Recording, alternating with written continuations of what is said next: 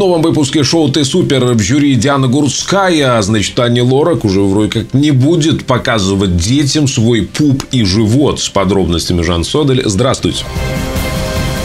Ани Лорак давно напрягает россиян за свою позицию, за то, что в предыдущем-то выпуске забыла как следует одеться. Только что появилась информация, что сегодня, 18 сентября, во время съемок программы в жюри была Диана Гурцкая, а значит, если она сменила Ани Лорак, говорит о том, что нас с вами услышали, учли наше мнение. Был очень трогательный момент во время съемок. Участница, которой всего 13, рассказала, что не видит, и отец, когда об этом узнал, бросил семью. Диана Гурцкая обняла девочку и расплакалась. Оказалось, что это ее воспитанница из фестиваля, которую, собственно, Гурская организовывает, называется «Белая трость». Гурская впервые вышла на сцену после смерти мужа, но участница шоу, девочка сказала, что действительно семья была полная, она хотела бы, чтобы была полной, но когда отец узнал, он ушел. На съемках сказала, что видит все-таки силуэты и цвета, и надеется, что если отец услышит это, быть может, вернется. Друзья, мне очень нравится шоу «Ты супер», потому что действительно участвуют простые, бедные дети, у которых нет семьи, да,